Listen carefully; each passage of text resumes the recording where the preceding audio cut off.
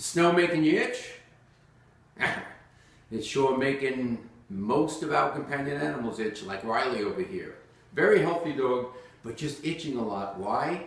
Because it's the coldest winter I've seen in years, mostly across all of North America. It's that cold, which leads to forced dry air heat. So how do we remedy that? Riley, how would you remedy that?